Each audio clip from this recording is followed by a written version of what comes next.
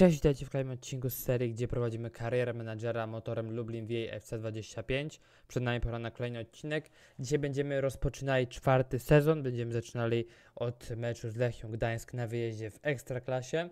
Jeśli chodzi o poprzedni odcinek, zrobiliśmy naprawdę dość e, duże transfery, jeśli chodzi o nazwiska, bo pozyskaliśmy Dawida Dehe, pozyskaliśmy Daniego Sebajosa i pozyskaliśmy Rubena Loftus-Cheeka, więc naprawdę trzy duże nazwiska. Patrząc na Ekstraklasę, to trzy ogromne nazwiska tak naprawdę. I nasz skład wygląda jeszcze lepiej niż rok temu. Pokażę dokładnie, jak to się prezentuje na ten moment. A więc w ataku Gonzalez, Abraham, Ndie. Tutaj Loftus-Cheek, Kaliskan, Ceballos. W obro- obronie tutaj Singraven, Reyes, Lindelof, Reed. I na bramce David De Gea. I zauważyłem właśnie tak jedną rzecz. Po pierwsze mówiłem o tym, że chyba na koniec poprzedniego odcinka mówiłem o tym, że poszukam sobie w miarę jakiego zawodnika potencjalnie może bym ulepszył, ale właśnie przypomniałem sobie, że musiałem najpierw kontrakty poprzedłużać, a więc poprzedłużałem z każdym prawie, został mi tam i Abraham, bo tam właśnie zaoferowałem mu ja- tam kwotę była to za mała kwota, bo on 50 tysięcy zarabia i chciałem to troszkę, z- żeby, mocno poszło w dół, ale za mocno, bo może chciałem, żeby to poszło w dół, więc jeszcze poczekam na to, no i zobaczymy, ale prawdopodobnie będzie tak, że po prostu jak przedłużę kontrakt z tam i Abrahamem, to po prostu nie będę miał tyle pieniędzy, żeby realnie kogoś sprzedać i zupgrade'ować, może powiedzieć. Bo to 4 miliony to jest proszę nic, naprawdę. Jakby No, jeśli chcę kupić gościa, który jest naprawdę niesamowity, no to naprawdę już trzeba duże pieniądze naprawdę wykładać. Dobra, Lechia Gdańsk przed nami. Wyjdziemy sobie podstawowym składem na ten mecz, na pierwszy mecz tego sezonu i wygrywamy 3 do 1. Roberto, Gonzalez i Abraham. Pięknie. Taki start mi się podoba. Mówiłem o tym oczywiście. Jesteśmy na takim etapie, że ekstra klasy to już musimy wygrywać no co roku naprawdę. My jedyne co teraz mamy już w głowie to rozgrywki europejskie. Dino Hotic oficjalnie odchodzi, no to w sumie jeszcze zarobiliśmy miliona, więc no to w sumie no zobaczysz, pomyślę. Pomyślę jeszcze. Teraz mam pewnie więcej, no tak, mam 6 milionów, ale tam wiem, no tam ja Abraham, nie wiem kiedy będę mógł z nim now, znowu negocjować właśnie. Nie na ile to, na ile to jest jakby. Właśnie nie udało mi się dogadać, dałem za niską kwotę i właśnie nie wiem ile muszę czekać. Może po meczu, nie wiem, po meczu ze Śląskiem, albo przed następnym meczem po Śląsku, może sprawdzę. Na ten mecz myślę, że nam przed Roberto wyjdzie. Tak jest, myślę, że Romanowski wyjdzie. Myślę, że Pestka wyjdzie. I Martinez wyjdzie. Takim składem wyjdziemy na to spotkanie, troszeczkę rezerwowym, tak półrezerwowym. I wygrywamy 2 do 1. Ceballos i Gonzalez z bramkami. Super. Jestem ciekawy, czy jesteśmy w stanie zrobić unbeaten season. Może nie w tym jeszcze roku, ale zobaczymy. Liga Mistrzów. Na to czekaliśmy. Na to czekaliśmy. Oczywiście dopiero rozgrywki. Yy, no jeszcze w sumie nie mamy rozgrywek europejskich zapewnionych, bo najpierw mamy kwalifikacje. Ciekawy jestem, z kim bijemy się, można powiedzieć, w Lidze Mistrzów. Bodo, ale to jest właśnie taki problem, że widzę, że to jest początek sierpnia. To znaczy, że nawet jeśli pokonam w dwóch meczu Bodo, to ja coś czuję, że po prostu jeszcze jedna będzie runda. Bo to wydaje mi się, że zwykle się powinno kończyć pod koniec sierpnia. Więc zobaczymy, jak to będzie wyglądało. Skalet. No Skaleta myślę, że nie chce jakkolwiek pozbywać się. Do wypełnienia może powiedzieć kadry jest spoko opcją. Zobaczymy się tego, jak sprawa z Abrahamem. Czy to się zmieniło, czy nie. Bo to jest jeden właśnie zawodnik, któremu kontrakt się kończy i nie mam przedłużonego. Jeszcze nie, no dobra. Właśnie, bo chciałem mu zbić w dół mocno, tak mówię właśnie, ale no nie dałem rady, bo od razu zakończy się szybko te, te rozmowy. Dobra, pierwszy mecz myślę, że dam na symulację. Wyjdziemy tym składem. Wygrałem 2-0. Pięknie. Ndie, Gonzalez, a jeszcze mógł być, mógł być jeszcze gola Ibrahama, który nie trafił z karnego, ale to nic. I tak 2-0 to super. Myślę, że drugi mecz nie będę grał, ale będę oglądał. Jeśli będą problemy, to potencjalnie może będę próbował tam pomóc. A ten mecz jest od razu, bo tak, no to na Zagłębie wyjdziemy rezerwami, bo szczerze nie obchodzi mnie jakby. Tak jak mówiłem, chciałbym unbeaten season mieć prędzej czy później, no ale jednak wiem, co jest mądrzejsze. I mądrzejsze jest to, żeby wyjść rezerwami, żeby na mecz z Bodą mogli wyjść podstawowi zawodnicy. I to jest dużo lepsza opcja. Więc właśnie tutaj wyjdziemy kompletnie rezerwami. Może i przegramy, ale to nic, to jest tylko jeden mecz. Więc na pewno jeszcze się może powiedzieć odkopiemy, więc, więc myślę, że nie ma co się martwić o to. Tutaj Kubica. Tutaj Kubica będzie cofnięty. Lukinias będzie miał swoją szansę. Tak, tutaj Romanowski. Myślę, że i Kruk też zagra. Myślę, że Nederajew też sobie odpocznie. A DH myślę, że może zostać w składzie. Takim składem wyjdziemy ten mecz na wyjeździe. I wygrywamy pięknie. Kruk i Martinez. Oni tam też mieli czerwoną kartkę. Dobra, drugi mecz przed nami. Tak jak mówiłem, no moja strategia jest taka, że będę oglądał to spotkanie. Muszę tak właśnie jeszcze jedno, jedną rzecz zmienić, bo Lukiniasa chciałbym mieć na ławce, a go nie mam na obecną chwilę. I to jest taka rzecz, którą bym na szybciutko sobie zmienił. Tutaj właśnie bym chciał Lukiniasa. Czy jest ktoś jeszcze? Nie, w sumie Lukiniasa po prostu chciałem, tak jest. Nasza ławka też jest naprawdę dobra. Nasza ławka też jest naprawdę dobra. Też fajna rzecz. Lindelof jest bardzo zmęczony. No to nie fajnie, bo liczę, że jakby, a w sumie pewnie powinien go wyrzucić kompletnie z ławki też. W sumie tak by pewnie było najlepiej. Dobra, zobaczymy. No to może Pestka będzie grał. Zobaczymy właśnie. Bo tylko on w sumie jest tak zmęczony, więc dobra, Pestka niech zagra. Ufam Kamilowi Pestce, chyba Kamil ma na imię, więc takim składem wyjdziemy. Tak jest. A to ja myślę, że dam Bartosza, bo i tak jakby z taką kondycją to Lindelofa nie ma co brać do kadry, bo i tak jakby nie, na pewno nie wejdzie z ławki. Więc takim składem wyjdziemy, tak jest. No i tak mówiłem, będę to oglądał. Nie będę grał, nie dam szybkiej symulacji, ale będę to oglądał i będę obserwował, co się dzieje. Czy będzie dobrze, czy będzie źle. Jeśli będzie dobrze, to super. Jeśli będzie źle, to możliwe, że się pojawię i spróbuję coś podratować. Ten mecz będzie na wyjeździe, oczywiście, więc wyjechaliśmy do Norwegii na to rewanże starcie i zaczynamy. Kali Scanner. Szansa od razu dla nas pierwsza. Reed. Tam Abraham niestety podaje niecelnie. Teraz piłka jest naszych rywali. Nie możemy im pozwolić na szybką bramkę łatwo. Nie możemy na to pozwolić, bo wtedy ten mecz pójdzie w złą stronę na pewno.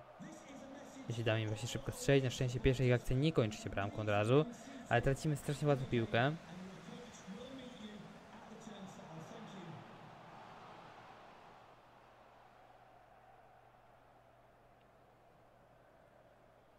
Miarę się trzymamy w obronie na razie. Pięknie Gonzalez, to jest fenomenalne przejęcie piłki.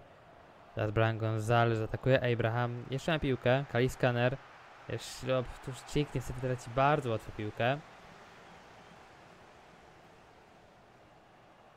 Oj, teraz gramy za łatwo. Piłka jest ich, ale koło bramki na szczęście. Mamy, szczę mamy tutaj duże szczęście, prawda, bo to mogła być bramka. Nie powiem, że to musiała być bramka, ale to na pewno mogła być bramka. Jakby, na przykład, nie wiem, jakbyśmy mieli taką sytuację, to pewnie bym oczekiwał gola w takiej sytuacji. 40 minut. Ostatnia akcja tej pierwszej połowy. Naprawdę nie dajemy im bramki do szatni.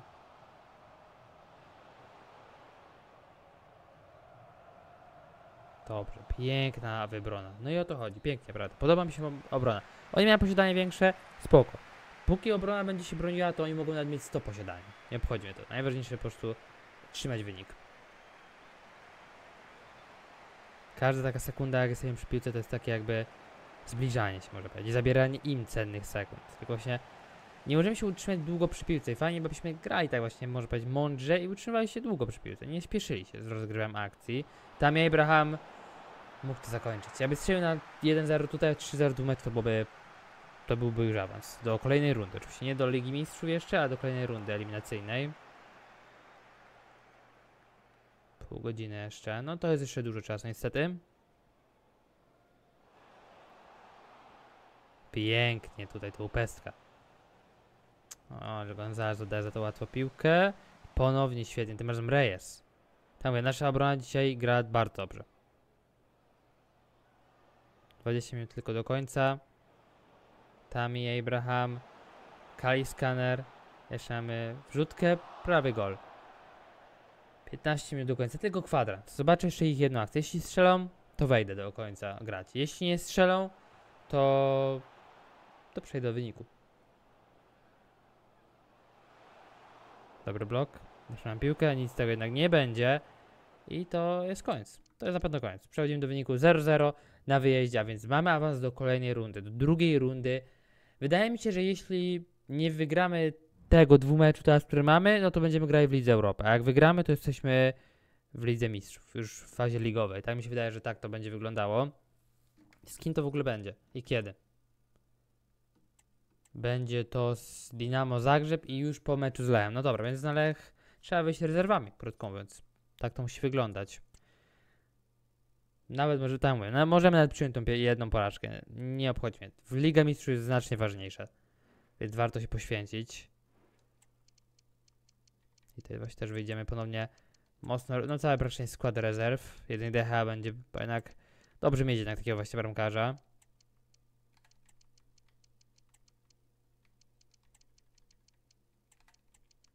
I tutaj właśnie takiej chyba będzie trzeba zrobić tak, że tutaj właśnie będzie Bartosz, no bo niech on naprawdę nie gra w ogóle, nie, bo znowu będzie zmęczony później i nie potrzebuje tego.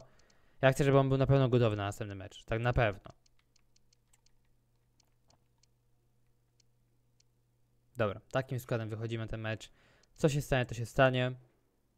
Wygrywamy 2-0, super. Kruk i Was z bramkami. Fajnie, że te rezerwy sobie radzą bardzo dobrze w tym sezonie.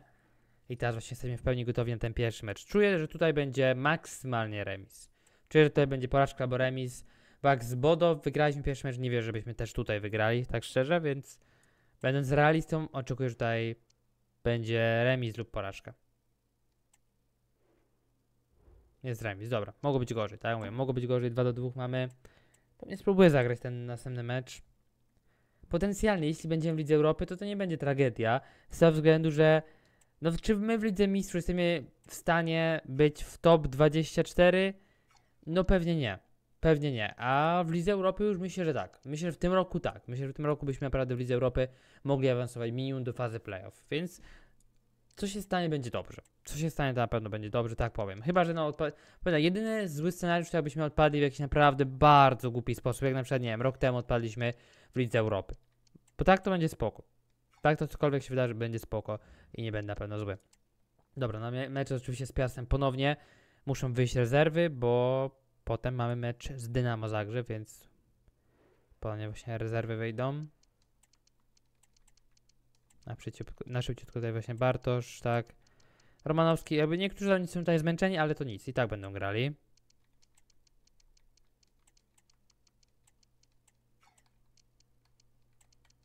Nawet myślę, że w sumie na przykład właśnie Mraz będzie też za Abrahama, żeby na pewno Abraham się nie pojawił. Scalet też może być za Loftusa Chica. I tak to właśnie może wyglądać. Takim składem sobie powiedziałem, tak jest. Tak wychodzimy na ten mecz. No gramy z drugą drużyną jak na razie w tabeli, więc ciężki mecz na pewno na wyjeździe i przegrywamy. Tak, ale tak mówię, to jest tylko jedna porażka, a no trzeba jednak zmaksymalizować swoją szansę na awans, czyli trzeba wyjść jak najświeższym składem, jak, jak najświeższą podstawową jedenastką.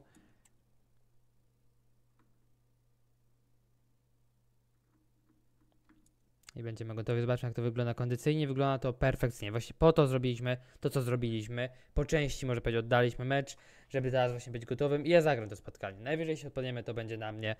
Zobaczymy, jak to będzie wyglądało. Tak mówię, jeśli awansujemy, sądząc po dacie, nie wcisną nam jeszcze jednej rundy eliminacyjnej chyba. Nie wiem, trzech nie powinnam chyba dawać. Chyba, że. Chyba, że tak. A nie, w sumie nie. Może nie. Nie wiem, zobaczymy. Zobaczymy. Mam nadzieję, znaczy, że się nie przekonam, bo mam nadzieję, że. Znaczy w sumie mam nadzieję, że się przekonam. Tak, mam nadzieję, że się przekonam, bo chcę awansować, więc żeby się przekonać. Dobra, możemy zaczynać.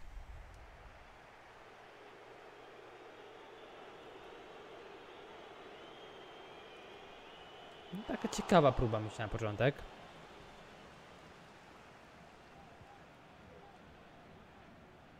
Strasznie dużo miejsca tutaj.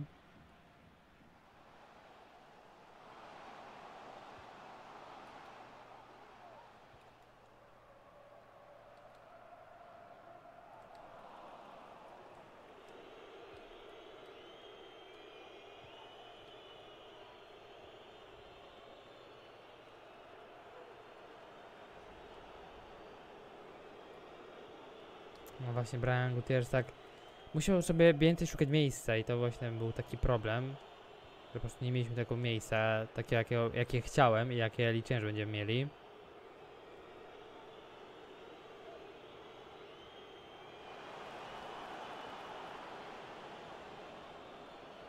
Ruben Loftus-Cheek uderzy? Warto próbować z takimi zawodnikami z daleka, na pewno mają realną szansę.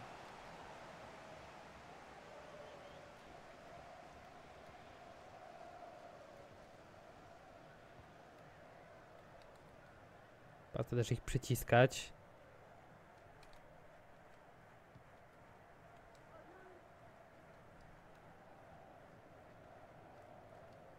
Będzie out dla nich. A, wiedziałem co się wydarzy, ale nie dałem rady tego, może zatrzymać. Dobra, piłka powinna być nasza.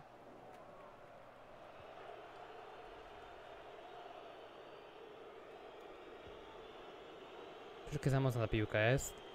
Troszkę właśnie to powinno być bliżej jakby. Na tą może być bliższą stronę dla Abrahama, nie tam, żeby go wpychać na obrońców.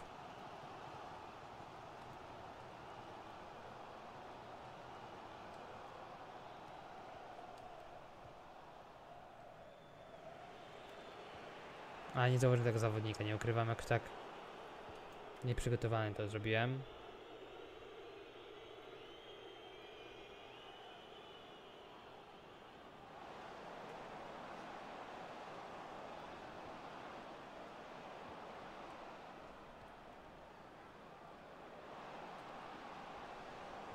Abraham jeszcze uderzy? To nie był Abraham? To nie był Abraham, to był Ndie. Jakim się Ndie? Bo ja byłem pewien, że tutaj w takiej pozycji będzie Abraham. Nie wiem, czy on właśnie się zamieni, bo do Abraham ma lepsze wykończenie. I powinien właśnie tutaj być.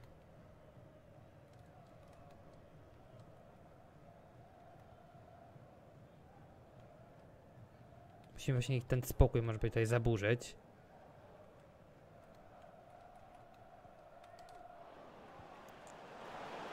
Abraham nie był spalony? Nie był spalony, mamy ten zero. Mówiłem, że musimy im zaburzyć ten ich spokój. W końcu zmusiliśmy ich do błędu i ten błąd okazał się bardzo fatalny dla nich, bo mamy bramkę. Przez chwilę myślałem, że Abraham za szybko ruszył i że to będzie spalone, ale jednak nie. Więc mamy bramkę i mamy 1-0 w tym meczu i co ważniejsze, prowadzenie w dwóch meczu. To ten, ten, ten zawodnik, który do niego doskoczył. Przez niego nie było spalonego. Dobra, oczywiście przyjmujemy. Ale prowadzenie. Pół godziny gry za nami.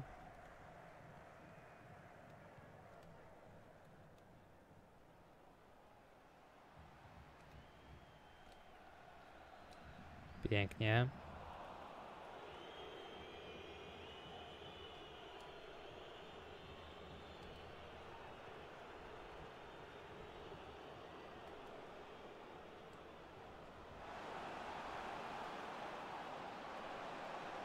A jeszcze próbowałem to znaleźć, tego Abrahama, żeby takiego tapina może powiedzieć miał.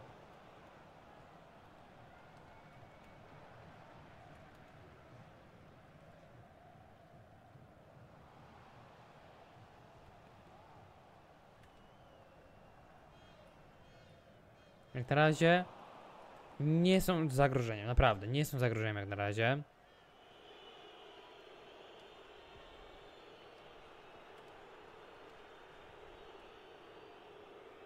Brian, czemu nie, nie wiem czemu Brian nie rusza jakby. Jeszcze tam jego Abrahama spróbujemy, bo to jest końcówka pierwszej połowy.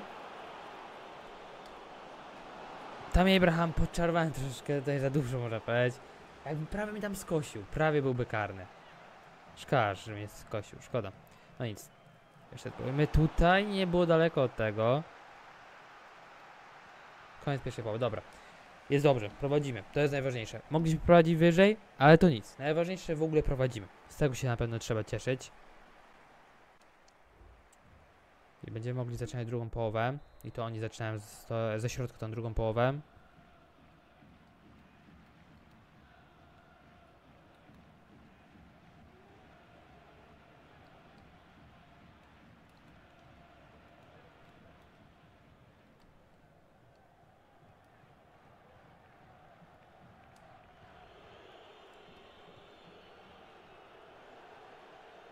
Masz tak?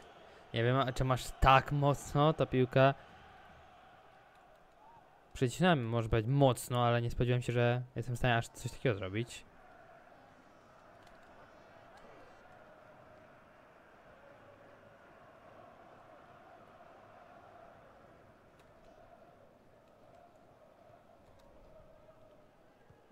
No i w końcu znowu ich właśnie tutaj zmusiliśmy do błędu. Aj, dobra, jeszcze powalcz. Ładnie.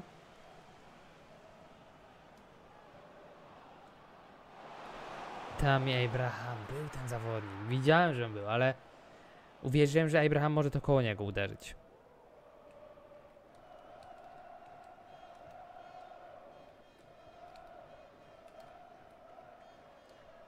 Jak mówiłem, to już naprawdę wiele razy. Naprawdę oni są strasznie niegroźni jak na razie w ataku.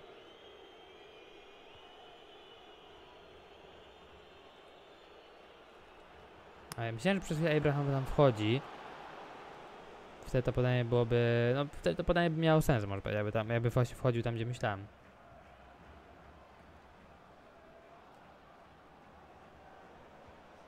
Tami Abraham. Aj, on jest wysoki. On jest wysoki, chciałem to wykorzystać, żeby na główkę urzucić.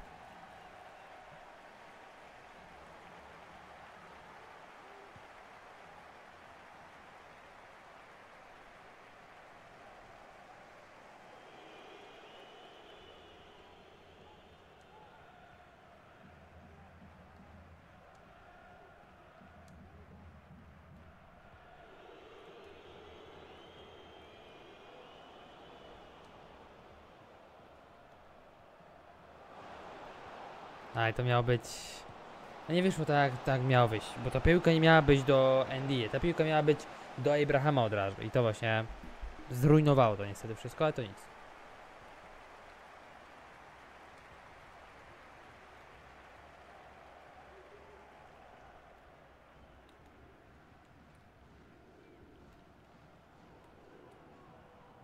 Ten robi to sobie to samo cały czas i cały czas jest, no cały czas jest czytany tam, prawda? Czy on znowu to zrobił? Ja dosłownie klikam to. Klikam ten trójkąt dosłownie. No ja nie rozumiem jak on to robi. Jak on możesz takie bomby sadzić? A może być czerwona kartka, ale... Znaczy żółta, da, już nie będzie chyba tej czerwonej, bo... No właśnie, przyjmę żółtą. Żółtą mogę przyjąć.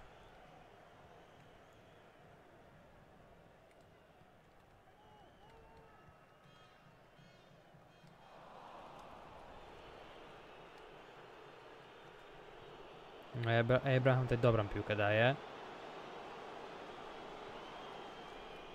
Jeszcze ta mi uderzy, no ta piłka tak dziwnie poleciała. Na pewno zdjąłbym NDE, bo lepiej nie ryzykować gościa, który, nie trzymać takiego gościa, który ma żółtą. Na razie to zrobię.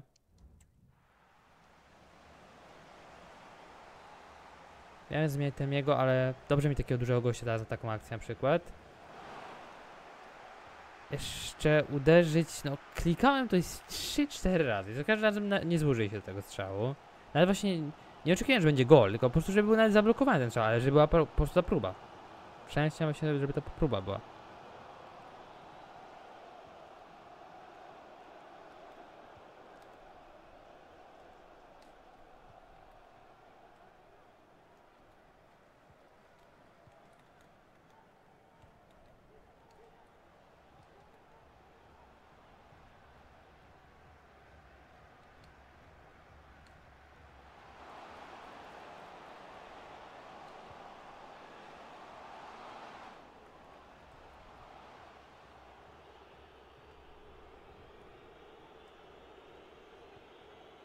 Brian Gonzalez, mamy szansę.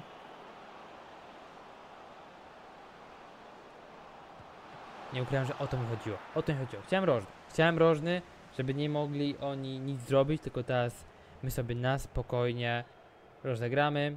Wezwijmy drugą osobę. Ja nigdy nie robię na krótkorożnych, ale teraz sobie zrobię, bo sobie po prostu pora potracić troszkę czasu. Jeszcze wrzutka na koniec. Może jeszcze bramka? Nie, nie będzie, ale to nic, bo to jest koniec. I Motor Lublin nie wiem, czy jest w fazie już ligowej teraz, Ligi Mistrzów, ale jest na pewno dalej, powiedzieć, to mogę na pewno powiedzieć. No i teraz właśnie pora, no nie, to jest 25 stycz, y, sierpnia, to musi być awans już, nie ma, oni nie wcisną nam tutaj, więc to musi być awans. To jest, teraz mogę powiedzieć na pewno, jesteśmy w fazie ligowej Ligi Mistrzów. Brzmi to naprawdę pięknie, brzmi to naprawdę pięknie, że Motor Lublin zagra w Lidze Mistrzów. Teraz możemy wrócić do Ekstraklasy troszkę bardziej się, można powiedzieć, skupić na takich spotkaniach. Troszkę odpuściliśmy te mecze w Lidze Mistrzów, ostat... e, te mecze w Lidze ostatnio od- odpuściliśmy dość mocno. No, teraz wracamy do akcji. Teraz mamy mecz z Legią, więc duży mecz. Remis 1 do 1. Mogło być gorzej, mogliśmy przegrać.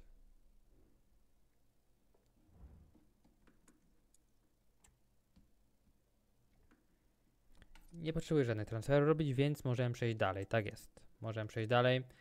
Szachtar już widzę jako pierwszy. Szachtar nas przywita, jeśli chodzi o Ligę Mistrzów. A ja bym zobaczył właśnie ponownie bym porozmawiał. W ogóle też jakby liczę na fajne pieniądze z Ligi Mistrzów. Nawet jeśli nie awansujemy do fazy playoff minimum, to i tak liczę na jakieś fajne pieniądze.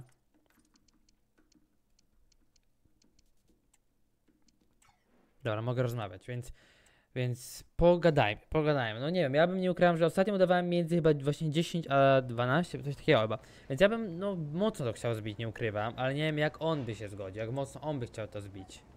Jak on by się na to zgodził. Chciałbym mu dać na przed 2 lata. Ile ty byś chciał? Powiedz ile ty byś chciał. Nie powiem mi. A bym, jakbyś mi to pół. Pewnie nie będzie szczęśliwy.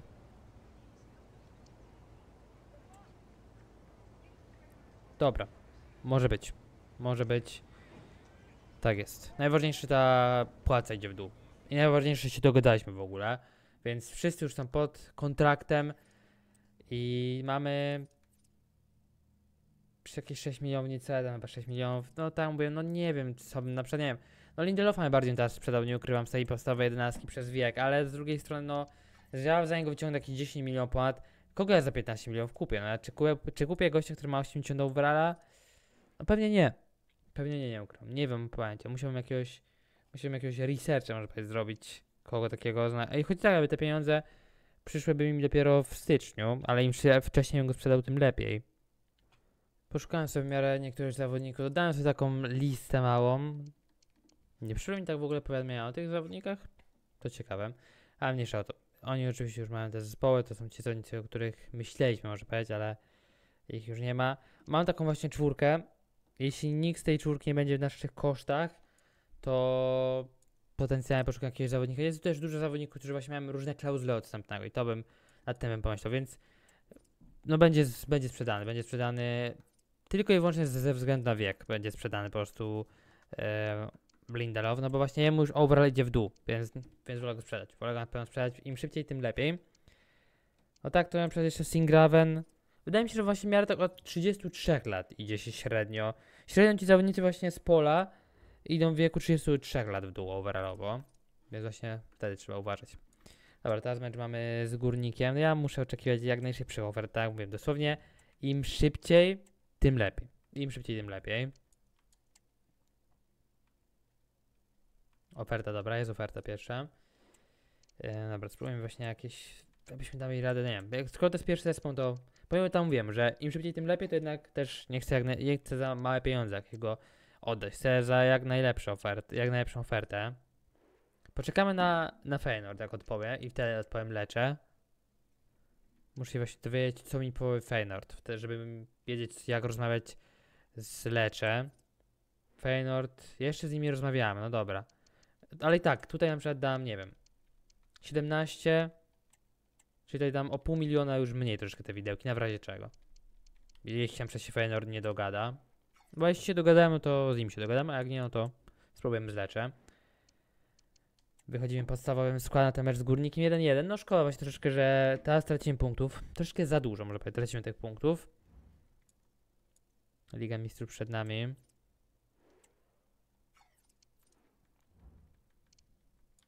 No nie zauważyłem, nie, nie ukrywam, że teraz mamy Ligę Mistrzów przed tamtym meczem, więc mogłem wyjść rezerwami bardziej.